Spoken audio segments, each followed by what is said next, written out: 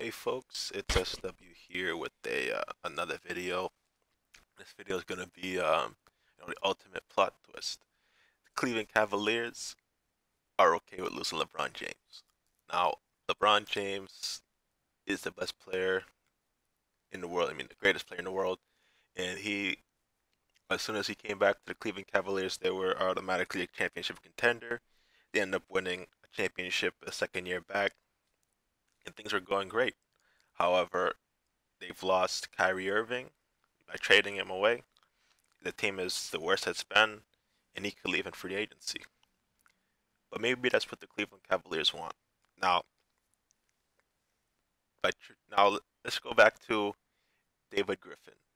So David Griffin, before you know he was let go from the Cleveland Cavaliers, he was working on trades to get you know Paul George, Carmelo Anthony, you know, really good players. Uh, but he was, you know, he was let go. He never got to finish the deal. LeBron James was pissed, and LeBron James is also pissed because they got Isaiah Thomas um, instead of you know Eric Bledsoe, you know, or other guys that were pretty good that were available to them. Now I'm gonna say this: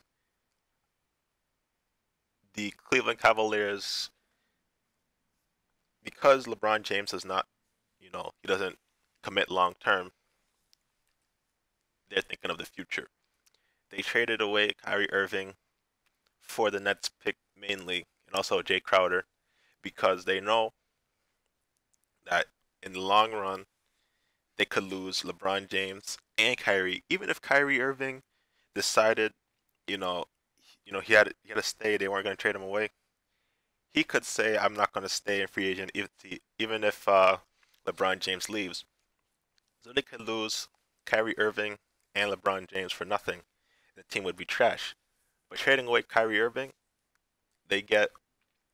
They mainly wanted the Nets pick, and they also have Jae Crowder, who's been struggling this year, but he is a viable small forward in the case they lost LeBron. You also get as a bonus Isaiah Thomas to compete now. But that Nets pick is huge because they can get a really good player in this draft, assuming it falls, you know, pretty high. Now, the next thing, you know, why are they okay with losing LeBron? Well, notice how they haven't fired Tyronn Lue, despite the fact that he's the worst coach in the league. Why they haven't made trades to get Eric Bledsoe or DeAndre Jordan or George Hill yet. They haven't, you know, they've said they're okay with using the Nets pick, but only for a young player. I actually, tell you that they want a young guy that's going to be around for a while, either to entice LeBron or to prepare for losing LeBron James. So the team is not that good now. If they lost LeBron James, they have the worst coach in the NBA. You know what that means? They could tank. They can tank and try and get a really good player in the next draft. That draft supposed to have Zion Williamson, Bol Bol, you know, a lot of good young prospects.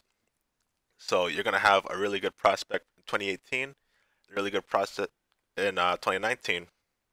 Let's not forget the 2019 free agency class is stacked. So even if they lost LeBron James, they would have a Kevin Love, they would have a decent small forward in Jae Crowder, whatever you know two young guys they really have, and they might have money, but you know they have to do some moves to get some cap space. That a free agent would want to sign for that team. You know, a good team with, you know, Kevin Love's having a good season. They have a decent defender that can take pressure off of them, and you have two rising young guys. And what what if LeBron James stayed? You know, you never know. But if they lost LeBron James, they have a lot of a good chance to have a competitive team in the long run, as opposed to you know using all their assets and all their money right now trying to compete, and they still lose LeBron James. So I think that's the ultimate collectors. I mean, you look at the list of free agents. You I mean you could get like a Klay Thompson. You can get if you're lucky maybe Carmelo Anthony. I mean they could get DeAndre Jordan if he was available. There's a lot of good players available in 2019. So for them to try and you know win now is not the great the right option. They should be preparing for the future. You know they have a chance with enough money.